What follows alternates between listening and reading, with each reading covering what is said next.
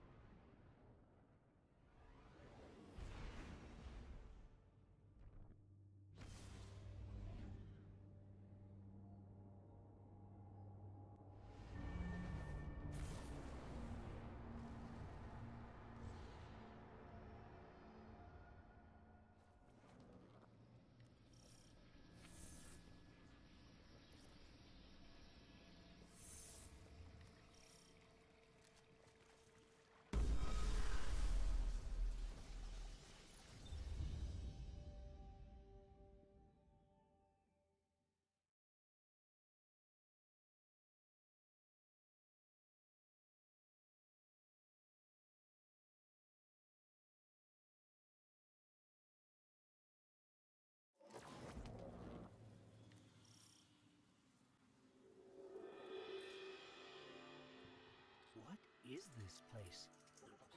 This doesn't look like a hive throne world.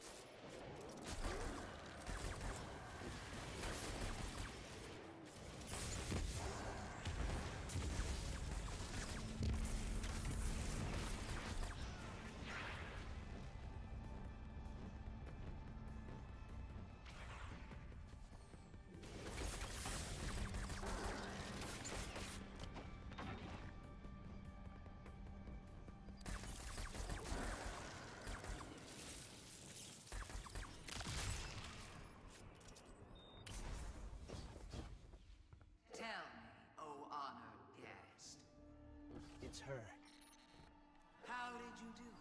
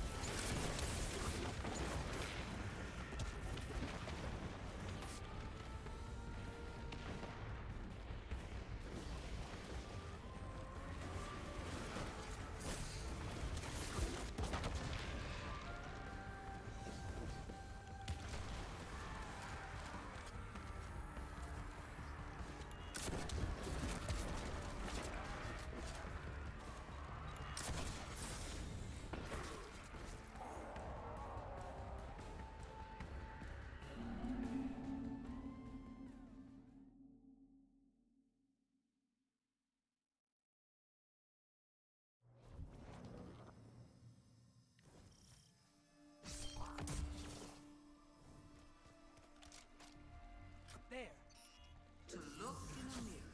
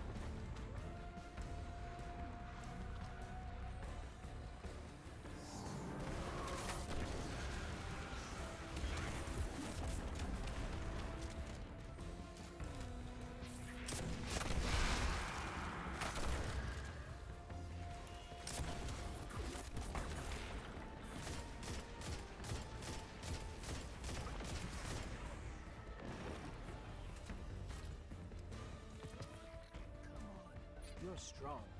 That was too easy.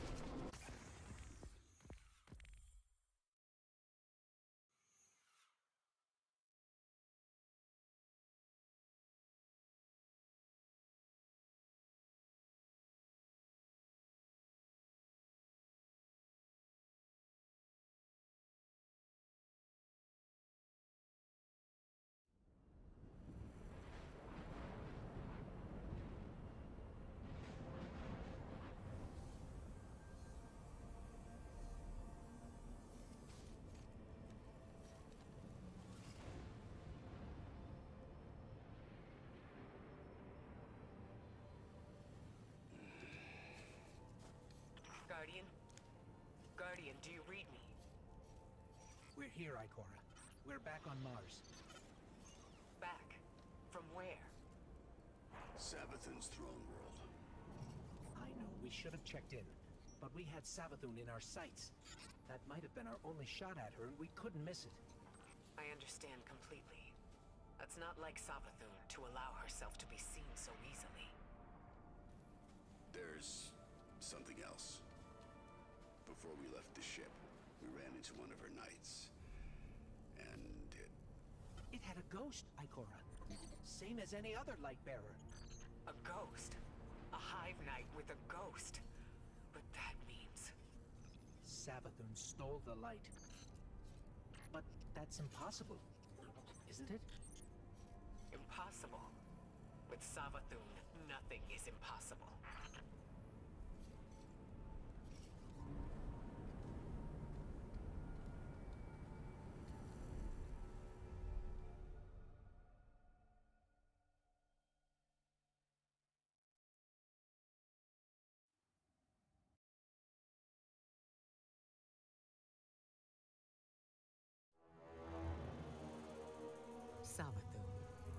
Witch Queen. Hive god of cunning and lies. Hive legend tells us she was born on a hostile, far-off planet, where she would have lived a short, uneventful life. If it weren't for the worm familiar that warned of an impending cataclysm. And so, she led her siblings into the depths, where the ancient worm gods offered them immeasurable power in exchange for endless blood tribute. From this, the Hive were born, and countless civilizations were condemned to extinction. For untold ages, they devoured life and light wherever it could be found, facing little resistance. Until they tried to take on the Guardians.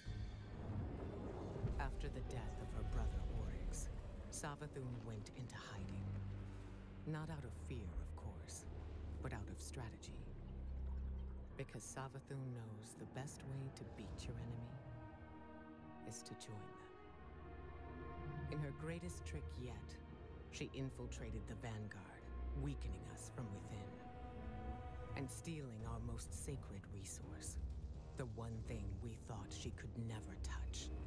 The light.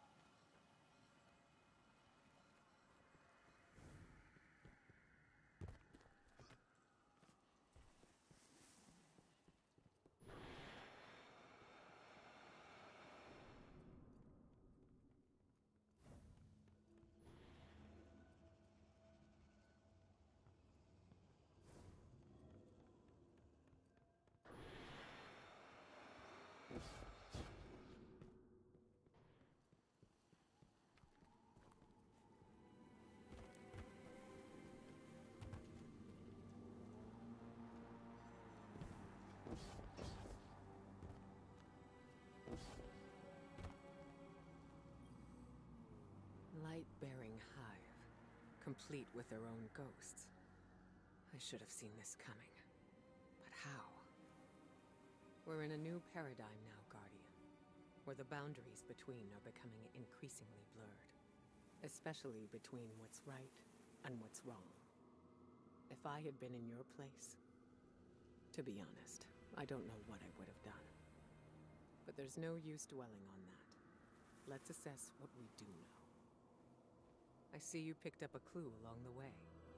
One that might explain why Savathun decided to return alongside Mars. According to your ghost telemetry, that fragment is giving off the same vibrations as the Pyramid Tech relic. That just so happened to return with Mars. Go take a look. I'll explain more when you report back.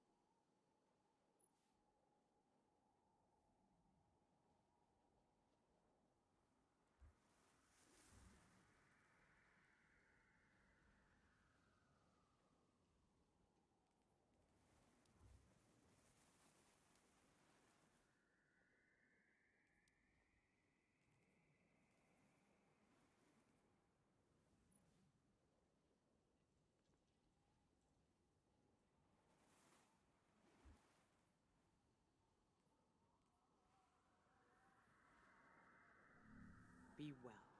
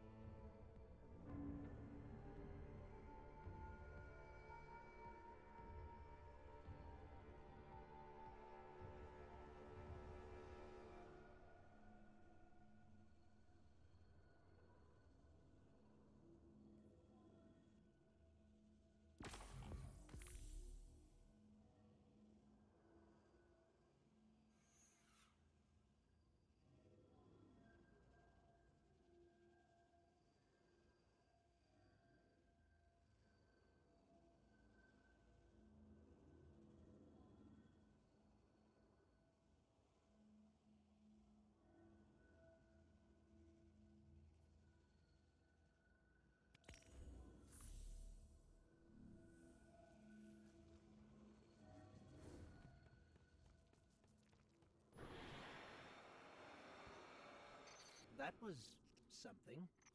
Not sure exactly what that something was, or what that something did to you. Hopefully, nothing bad.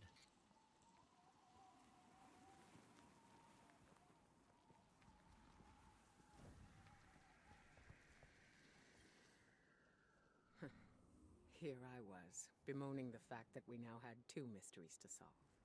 And you, Wilson, making breakthroughs left and right. So, the relic rendered a full blueprint out of a single fragment. Almost as if you were shaping that weapon based on its own memory. Which parallels the distortions all over the planet. Open wounds where the past bleeds into the present. Somehow the relic can manipulate time. With the right conduit, of course. Which Savathun happened to have. But could she use the relic? And what for? The questions just keep piling up. It seems the answers are buried within Savathun's throne room. I need someone to go in and dig them up. Guardian, how do you feel about working with the Hidden?